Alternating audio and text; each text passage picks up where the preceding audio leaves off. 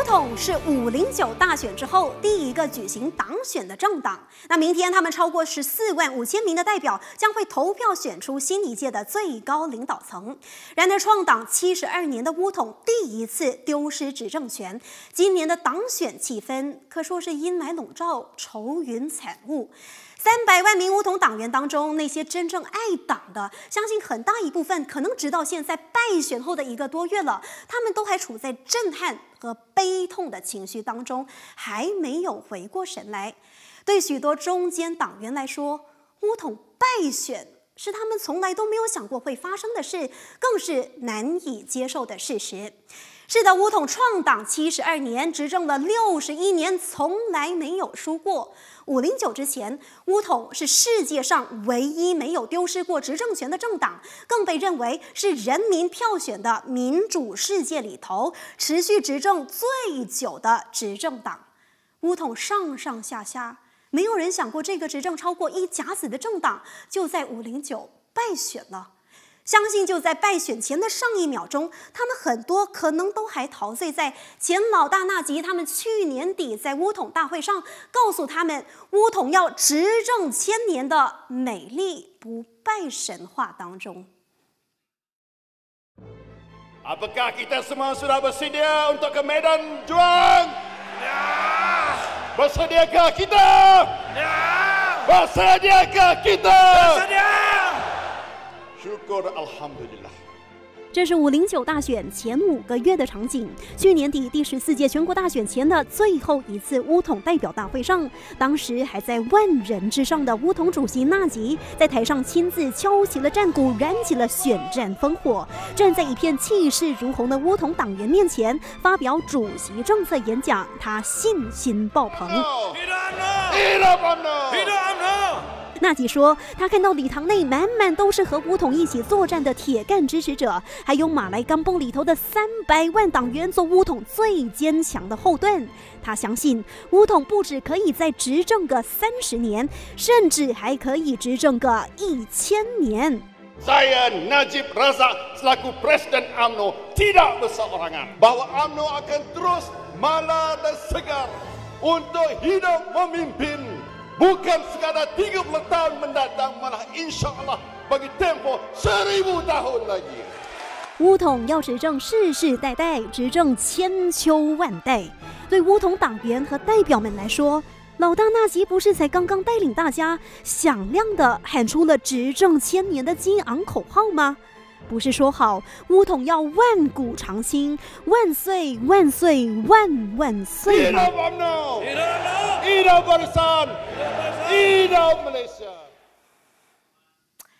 是的，没有预感之下，纳吉这一番慷慨激昂的话，现在看来成了巨大的讽刺啊！乌统要执政千年的美丽神话，就这样在五零九的夜晚彻彻底底的幻灭了。徒留下千年一叹呐！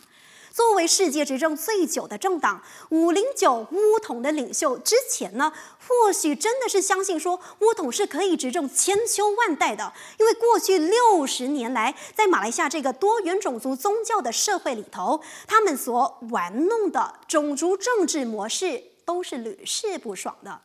乌统在过去之所以可以六十年不倒，如此长命。那是因为乌统成功在马来民族当中大力的吹捧大马来人主义，在马来社群当中制造了危机感，而面对非马来人，则是非常善用萝卜加大棒的软硬兼施策略。那萝卜加大棒 （carrot and stick）。有时就采取啊给萝卜的方式，给点甜头来拉拢你。如果你要求过头不听话的话，那就拿出大棒的方式给苦头你吃来威胁你。再加上收编了乖乖听话的马华民政国大党乌统，就这样得以以国政的名堂执政了六十一年。而当中不得不强调，这种操纵族群微妙关系的手法，乌统这种萝卜加大棒的策略。在马哈迪掌权的那二十二年里头，更是发挥得最淋漓尽致呀。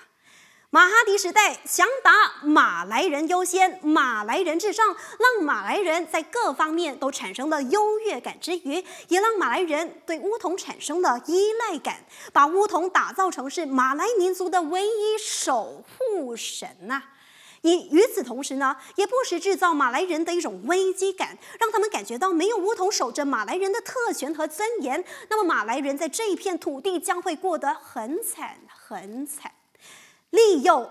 威胁双管齐下，那这些年来，乌统就这样稳稳守下马来大票仓。而对于非马来人，上世纪九十年代，为了安抚华社，马哈迪他就丢出了萝卜，实行了经济教育小开放，让一些华人商家在小开放的经济领域当中赚到钱，也允许那些私立大专设立，让那些不能够踏上政府大学门槛的华人子弟有机会可以升学。而在大选期间嘛，则是拨一点钱来增建华小了。那当然，很多年长的观众也都不会忘记马哈迪时代所拿出的大棒，最恶名昭彰的就是援引的内安法令，在茅草行动当中展开大逮捕、关闭报馆，制造了白色恐怖。那其实乌统上下他们一直很有信心，乌统不会被打败，也有一定的历史依据。那在五零九之前呢，乌统这个政党尽管哈经历了好几次的党内外严峻考验，但都还是屹立不倒的。我们说，从一九八七年东姑拉沙里挑战马哈迪失败，离开乌统，他另组四六精神党，再到一九九零年大选与国政对抗。然后，一九九八年，安华他落马之后，掀起了烈火莫西运动，成立了公正党，与马哈迪领导的国政来较量，但是